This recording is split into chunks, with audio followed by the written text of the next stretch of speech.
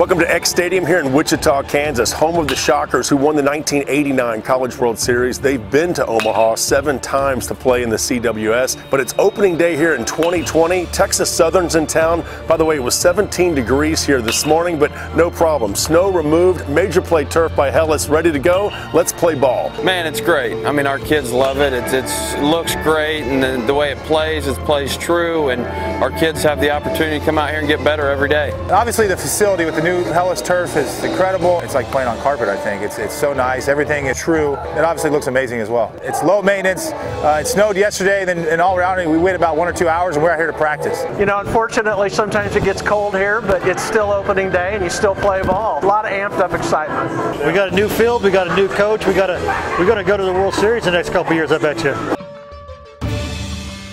Hellas, building for sports from start to finish.